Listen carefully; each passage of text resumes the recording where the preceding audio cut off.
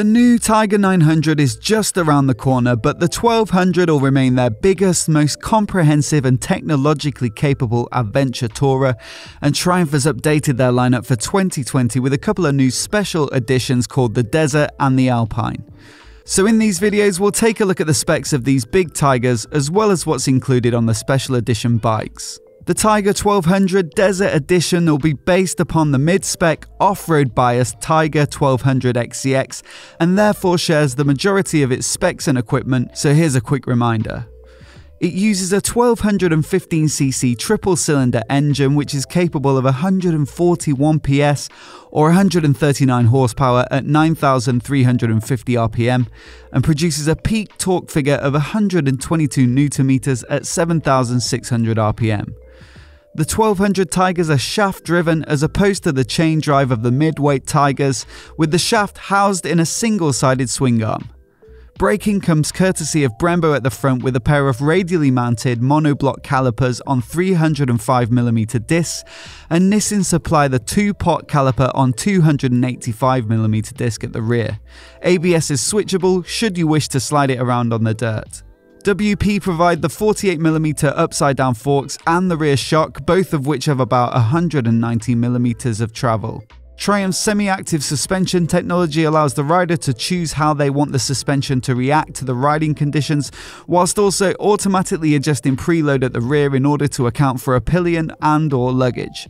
Going head to head with the likes of the BMW R1250 GS, Ducati's Multistrada and KTM's 1290 Super Adventure means that the Tiger 1200 needs all the latest tech to keep up with the market, and although this special edition doesn't quite have all the goodies of the range topping It's still pretty flash. It gets full LED lighting, a colour TFT dash, keyless ignition, an electronically adjustable screen, cruise control, and heated grips, as well as an IMU to enable cornering ABS and traction control, along with five riding modes of rain, road, off road, off road pro, and sport. Each mode dials in throttle response, ABS, and traction control to suit the conditions, with Off Road Pro completely disabling ABS and traction control for more experienced riders. The Desert Special Edition firstly brings a new paint scheme with a khaki coloured finish that Triumph calls Sandstorm, which I think looks pretty nice on this style of bike. It kind of reminds me of the Ducati 1260 Multistrada Enduro, although the Tiger's a bit more rugged looking and therefore fitting for this colour scheme. On top of this, it gets Desert Edition graphics and SE badges on the radiator guard in place of the XCX badges. As well as the finish, the Desert Edition also gets a couple of hardware options. Triumph's Shift Assist Quick Shifter will be fitted as standard to this model, allowing clutchless up and down gear shifts, and the optional Arrow exhaust will also be fitted to give it a more fruity note. Given that the Arrow exhaust is £740 on the Triumph website and the Quick Shifter 395, you're looking at £1,135 with labour on top for fitting should you choose to have those upgrades done done on a standard XCX. The Desert Edition will cost £15,500, which is only 400 more than the XCX at £15,100. so it's a nice little discount on those upgrades, especially if you like the paint job. The Alpine Edition will be based upon the more road focused XRX, which runs pretty much the same specs as the XCX, but with a few small changes. It gets the same motor, semi active suspension, Brembo brakes, TFT screen, and IMU with cornering ABS and traction control to name but a few.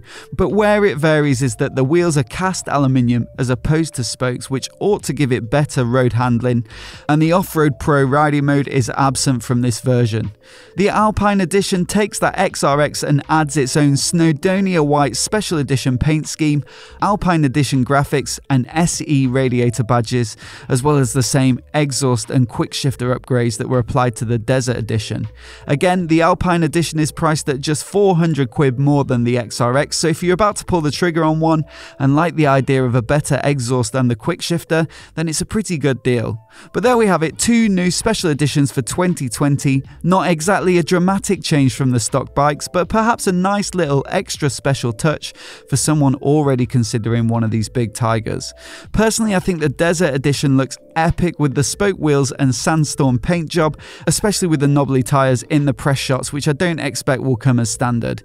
But in all reality, the Alpine will be a better bike for the type of riding that most of us do on a regular basis, and the wheels will be easier to clean too. I've also got to say that the photography in this press kit is absolutely stunning.